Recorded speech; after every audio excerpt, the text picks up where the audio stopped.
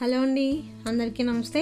Welcome to మన ఇవాళ మన మోస్ట్ హెల్దీయెస్ట్ రెసిపీ వచ్చేసి డేట్ షుగర్ డేట్స్తో పౌడర్ డ్రై డ్రై డేట్స్ చేసుకుంటారు కదా జనరల్గా ఇలా నార్మల్ డేట్స్తోనే పౌడర్ ఎలా చేయాలో చూపిస్తాను. ఎయిర్ ఫ్రైయర్ యూస్ చేసి నేను ఇలా టూ ఫిఫ్టీ గ్రామ్స్ డేట్స్ తీసుకున్నాను. ఇవి థిన్ స్లైసెస్ చాలా థిన్గా ఒక్క డేట్ వచ్చేసి ఫోర్ ఫోర్ స్లైసెస్ కట్ చేశాను. Four to five slices cut చేసుకోవాలి.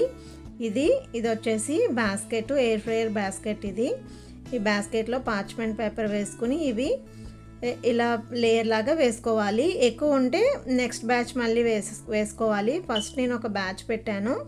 ఇప్పుడు ఎయిర్ ఫ్రైయర్ లిడ్ పెట్టేసుకుని నెక్స్ట్ ఎయిర్ ఫ్రైయర్ ఆన్ చేసుకోవాలి. ఎయిర్ ఫ్రైయర్ ఆప్షన్ ఆన్ చేసుకుని స్టార్ట్ బటన్ కొట్టిన తర్వాత ఫైవ్ మినిట్స్ పెట్టుకోవాలి. ఫైవ్ మినిట్స్లో త్రీ సెవెంటీ ఫైవ్ డిగ్రీస్ ఫారెన్ హీట్లో ఫైవ్ మినిట్స్ టైం పెట్టుకొని ఎయిర్ ఫ్రై చేసుకోవాలి.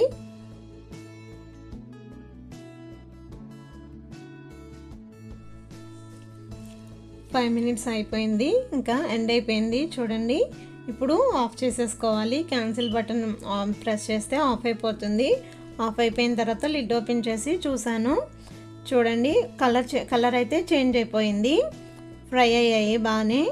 సో ఇవి ఒక ట్వెన్ టెన్ టు ఫిఫ్టీన్ మినిట్స్ అలా ఉంచేస్తే హార్డ్ అయిపోతాయి. మనకి ఇంకా టెన్ టు ఫిఫ్టీన్ మినిట్స్ అయిన తర్వాత కూడా హార్డ్ అవ్వలేదు ఇంకా సాఫ్ట్గా ఉన్నాయి అంటే అప్పుడు మళ్ళీ ఇంకొక టూ మినిట్స్ పెట్టుకోవచ్చు. ఇప్పుడు చూడండి డ్రై అయిపోయాక చూపిస్తున్నాను.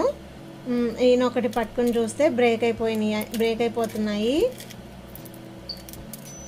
సో ఇవి పర్ఫెక్ట్గా ఎయిర్ ఫ్రై అయిపోయినాయి.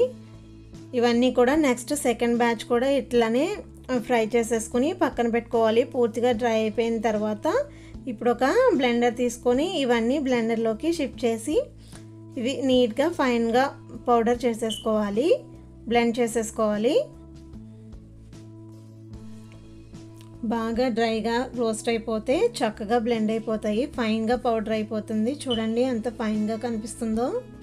ఈ పౌడర్ని మనము షుగర్ ప్లేస్లో యూస్ చేసుకోవచ్చు పిల్లలకి మిల్క్లో కలిపివ్వచ్చు అలాగే ఫ్రూట్ ప్యూరీస్లో కలిపివ్వచ్చు అండ్ అలాగే జ్యూసెస్ స్మూతీస్లో కూడా ఈ పౌడర్ వేసుకోవచ్చు. ఇది ఆల్మోస్ట్ మనకి బూస్ట్ ఉంటుంది కదా సేమ్ అలానే ఉంటుంది ఈ పౌడరు చాలా ఈజీగా చేసేసుకోవచ్చు అండ్ అలాగే ఇది గ్యాస్ మీద చేసుకోవచ్చు ఓవెన్ మీద ఓవెన్లో కూడా బేక్ చేసుకోవచ్చు. గ్యాస్ మీద బిస్కెట్స్ అవి బేక్ చేస్తాం కదా సో అదే ప్రాసెస్లో బేక్ చేయొచ్చు కాకపోతే కొంచెం టైం ఎక్కువ పడుతుంది. నేను నెక్స్ట్ వీడియోలో గ్యాస్ మీద అండ్ అలాగే ఓవెన్లో కూడా ఎలా బేక్ చేయాలో నేను చూపిస్తాను.